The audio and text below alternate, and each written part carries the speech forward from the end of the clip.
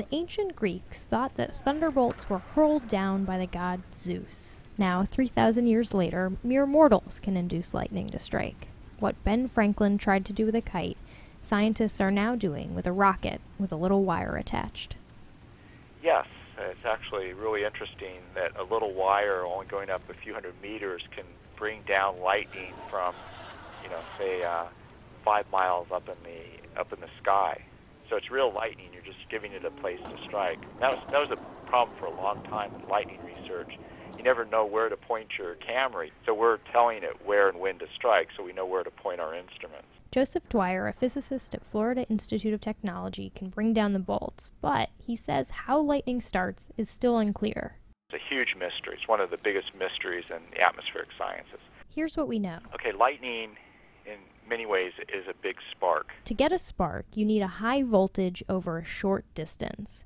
Voltage can be created by rubbing off electrons, like onto your socks, to create a difference in charge. You get a spark when those electrons jump from your finger to the knob. But suppose that instead you start walking across the carpet, and suddenly, when you were 10 feet from the doorknob, a spark suddenly flew out of your finger, and you think that something very unusual was happening there. It's weird because the electric field created by a carpet walk would be too small to make a current travel that far. And it's sort of a similar puzzle. When you measure the electric fields inside thunderstorms, they just don't seem to be big enough to make a spark. And yet they do.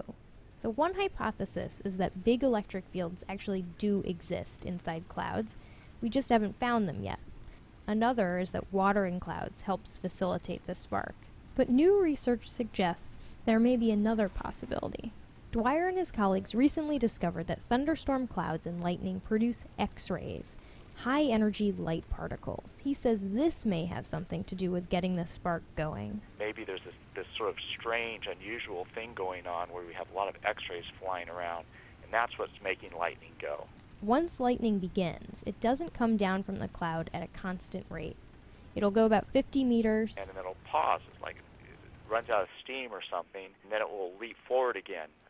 And then it'll pause, and then it'll leap forward in different directions. That's why lightning has this zigzaggy branched appearance. But how exactly the propagating works is fuzzy too. Nobody understands how lightning steps or even why it steps. And so, you know, a lot of people get hurt by lightning, a lot of properties damaged by lightning, and yet we don't know at the basic level how it propagates. And once lightning hits the ground, it shoots back up to the cloud in a return stroke, and that's actually the bright bolt that we see. That's why lightning flickers. You're getting these separate strokes within a flash.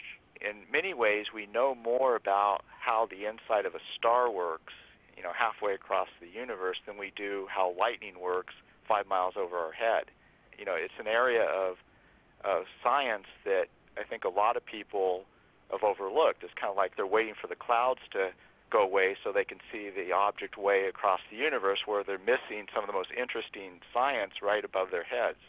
Three, two, one, fire. I'm Flora Lichtman for Science Friday.